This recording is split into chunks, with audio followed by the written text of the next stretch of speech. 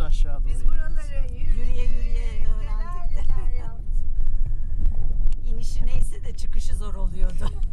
Bu